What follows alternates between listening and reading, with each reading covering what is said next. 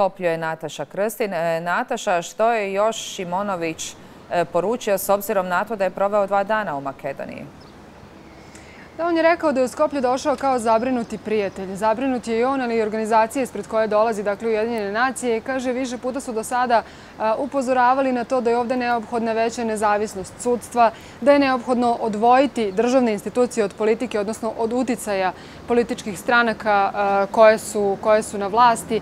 I kaže, e, isto tako, neophodno je zapravo ojačati mehanizme za zaštitu ljudskih prava. Između ostalog, kaže, neophodno je pojačati ulogu, ali i osigurati nezavisnost ombudsmanu, odnosno zaštitniku građana sa kojim se također danas sastao. I kaže, neophodno je e, da ombudsman e, ima mogućnosti da ima pristup svim osobama koje su u pritvoru e, u ovoj državi. Kao jedna bitna poruka koju je Šimonović izneo danas, ističe se također njegova pohvala na račun građana Makedonije. On kaže da nakon događaja u Kumanovu su oni pokazali jedan visok nivo međuetničke tolerancije, način na koji su odreagovali i i u samom gradu Kumanovu, ali i građani širom Makedonije, dakle što nije bilo podizanje nekih međuetničkih tenzija, to je samim tim pohvalio i rekao je kako zapravo osim toga ima još E, određenih naznaka i razloga e, za optimizam. Između ostalog i to što su se svi sagovornici njegovi, dakle u prethodna dva dana, sastao se i sa liderima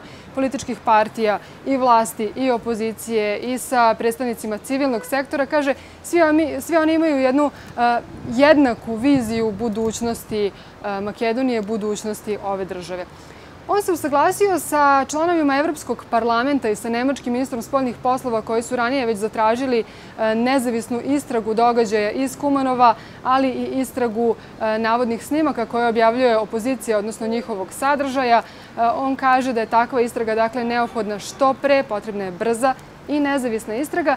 A na naše pitanje da prokomentariše izjavu javnog tužioca Makedonije, koji je ranije medijima rekao kako misli da Makedonija ima kapacitete da sama sprovede jednu takvu nezavisnu istragu, Šimonović kaže da je ipak u ovom slučaju neophodna međunarodna saradnja.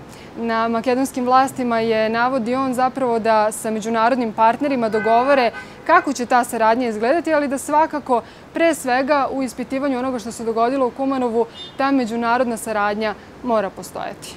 Bila ovo Nataša Krstin, uživo iz Koplja i još jedna vijest iz